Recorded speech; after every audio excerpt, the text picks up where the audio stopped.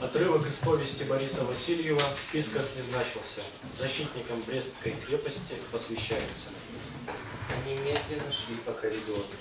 По дыханию Свицкий понимал, что каждый шаг давался неизвестному с мучительным трудом.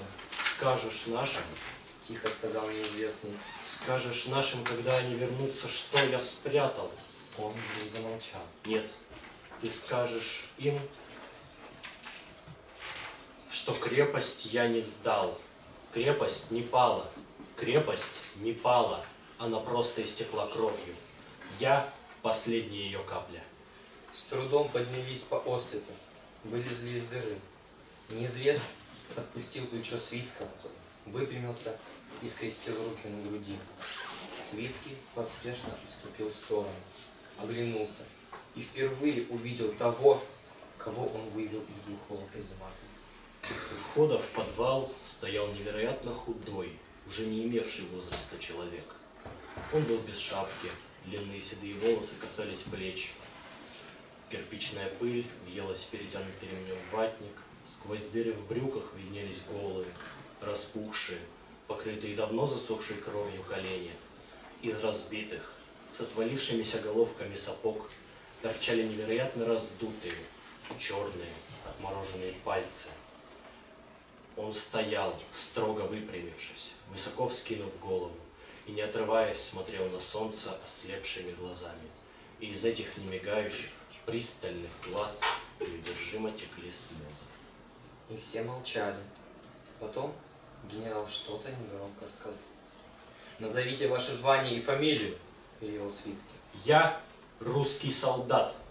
Голос прозвучал хрипло и громко, гораздо громче, чем требовалось.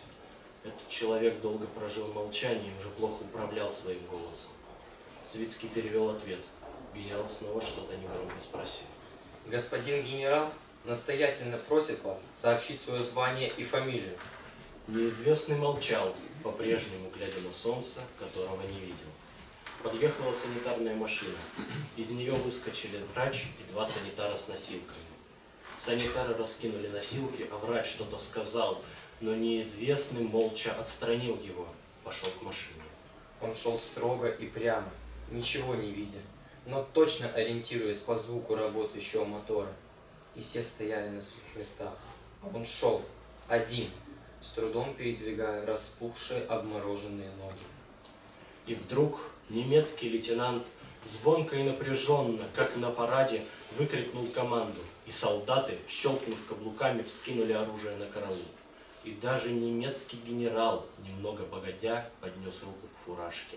А он, качаясь, медленно шел сквозь строй врагов, отдававших ему высшие воинские почести. Но он не видел этих почестей, а если бы и видел, то ему было бы уже все равно. Он был выше всех мыслимых почестей, выше славы, выше жизни и выше смерти.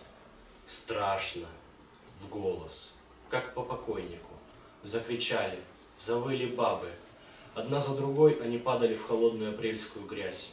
Рыдая, они протягивали руки и кланялись до земли ему, последнему защитнику, так и не покорившейся крепости. А он брел к работающему мотору, спотыкаясь и оступаясь, медленно передвигая ноги. Подогнулась и оторвалась подошва сапога, и за босой ногой тянулся легкий кровавый след.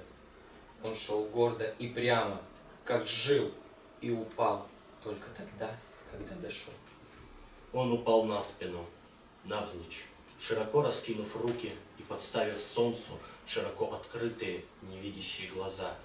Упал свободным и после жизни смертью смерть поправ.